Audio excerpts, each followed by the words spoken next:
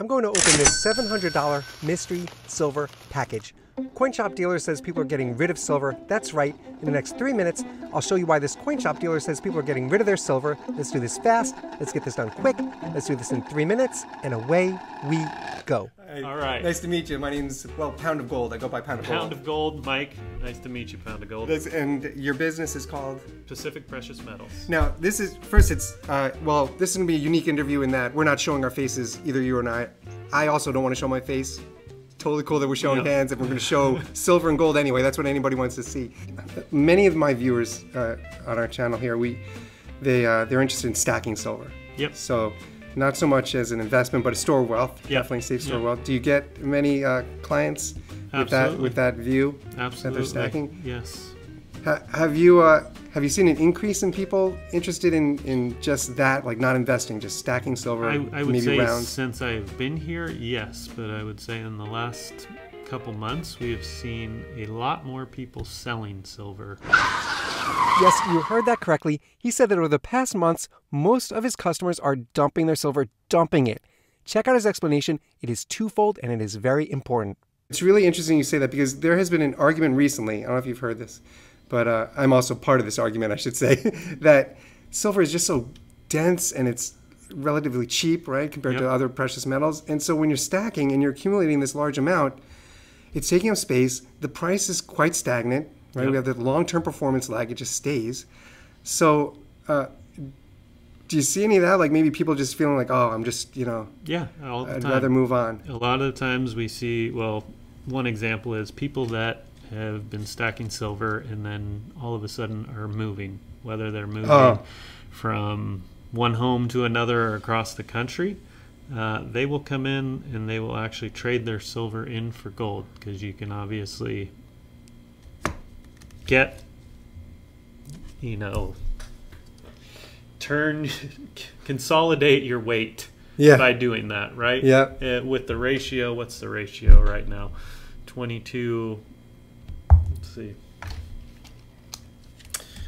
1851 divided by 22.25, 83 to 1, right? So at that point, you can consolidate your silver into gold and put it in your pocket or in a in a small box rather than lug, lugging hundreds of pounds across the country, right? Absolutely. Um, so we see that quite often, and I would say in the last few years, you actually had a lot of people get into silver um, right around the GameStop um, Uh-huh.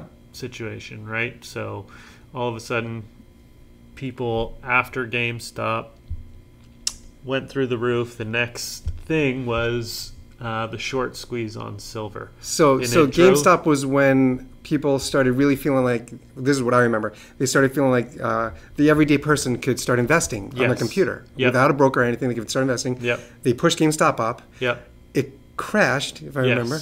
Um, and then you're saying the squeeze on silver. Well, everybody is what happened was all these people went into a struggling company because it went on Reddit that okay, if everybody puts their money into this company, it will push that price up. So there was a lot of people that got in it when it was very low, and all of this massive like interest drove the price up. Mm-hmm. And then there were a select few of people, and I, I, they just did a movie on Netflix, or there's a movie that just came out, Dumb Money, that Oh. basically talks about this whole scenario. They don't talk about what happened next. The next thing that kind of went viral on Reddit was the short squeeze on silver. So literally, over the course of two days, this price of silver then shot up to about thirty-five dollars an ounce. I want to say. Um, and we saw a massive influx. This was like March of 2021, Huh. or late February 2021.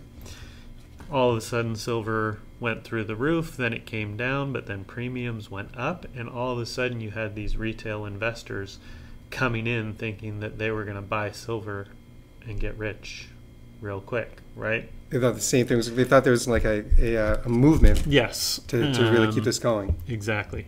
That never panned out. Silver Mm-hmm. kind of came back from then, but there was a lot of people that came in and were buying silver. They were paying very high premiums to Yeah. get their silver.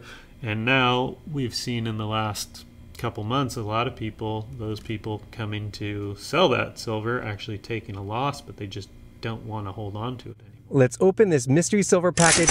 All that I know is that I gave Mrs. Pound of Gold $700 and told her to surprise me with some silver. Let's see what she picked up for me. I like the package. It makes me feel like it's my birthday, even though it's not. We'll see what she got. feels heavy and dense. That's, that's exactly what I want to feel. There it is. Wow. Junk, junk silver quarters and a whole lot of them. That's $700 worth of junk silver quarters. Good choice, Mrs. Pound of Gold. That is why I love you. That is perfect. Hit subscribe. I post three videos per week. Hit subscribe. I don't want to miss it. I'll see you in the next one.